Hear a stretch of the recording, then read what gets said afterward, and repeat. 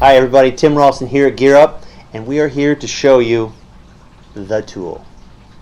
It's not e-tool, because that's what everyone else has. We have the tool. It's called Crovel. Half crowbar, half shovel, all business. This is it. Now for those of you that haven't had the luxury of touching one, when you hold it, I call this the Crovel effect. Most guys, that happens. Did you see that? The chest pops off. They get kind of, oh, ooh, they get kind of Cro-Magnon on because this isn't light. It's not meant to be. This is five pounds of American steel. This is one tough tool. Um, but it's just not a, a, tool like a shovel. All right, it has a lot of features that you probably would say, I don't get it. What does it all do? So I'm going to just walk you through it. Um, I'll start off with something that's probably uh, not apparent to everybody, but is for most guys the most important thing. It's the beer opener. There it is. The applause. If I had an applause button right now, it'd be going off right now. So it just has it. I don't know why it's, it makes really no sense, but it does. I don't know. All right, let's go on. Um, also, the head, hardened chromoly. What does that mean to you? That this is stout. It's not going to break. It's not going to bend on you. This comes with a pretty sharp um, edge on it. I've gotten mine because this is the chromoly um, uh, steel. If you have a grinder, you can get this razor sharp. I actually utilize this as an axe all right when you're striking this you can fall a tree with this thing it's a tool for camping it's a for outdoorsmen this is one tool that kind of covers a lot of bases so you don't have to carry a lot of stuff actually the products that this takes the place of weighs 45 pounds. This weighs 5 pounds, all right? This takes the place of 14 different tools, and it keeps growing. When I say that, because I keep getting videos of guys doing really crazy things with this thing.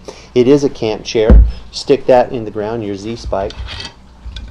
Pull this over. Put it at the 90 degree, and then plant your palm right on top here it works. I've actually used it at uh, soccer games before when I didn't remember my chair. So it does work really, really well. Um, definitely put the cover on and don't drink and sit on this when you don't have the cover on. I'm just saying this would not be a good thing. But this, in this configuration, great pickaxe. Um, does a great job there. Um, I've used this as a, a candle holder yeah, you know, I hung this in the tree, put my candle right here. It was a perfect little table for me. Put my cup there.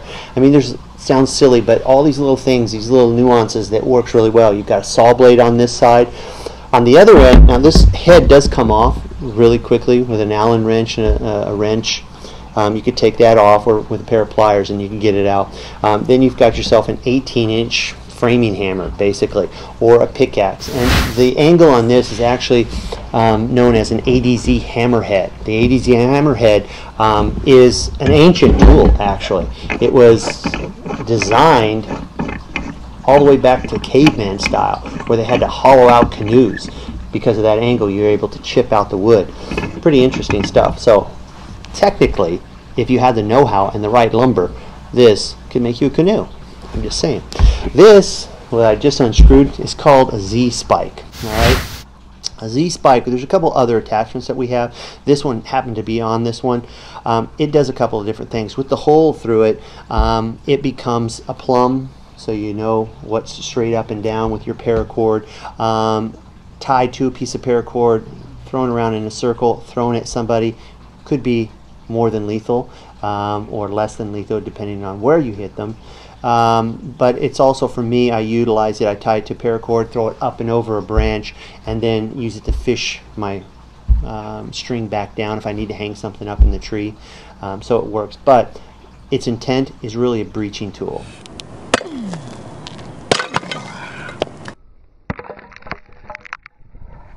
Go through glass.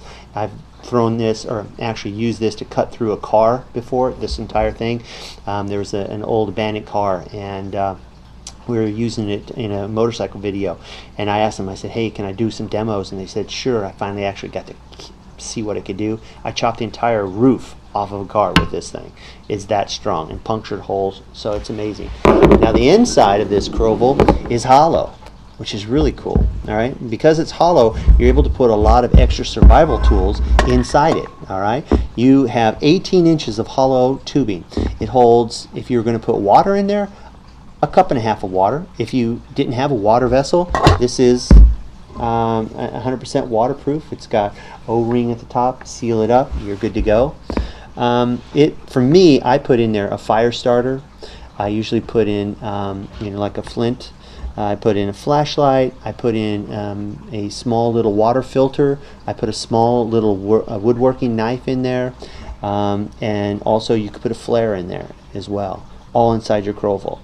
Um, it's then wrapped at the bottom here uh, or for the handle with paracord and it's 550 paracord and you've got about 25 feet of this um, and I could probably have an entire show on what you can do with paracord it is like the essential tool out in the wilderness it's a small seven stranded um, rope that does just about everything um, that's also on your your Crovel so if you're looking for one tool to do just about everything defensive digging holes, chopping trees. This is the tool. Thanks so much. Tim Ralston here, Gear Up, signing off.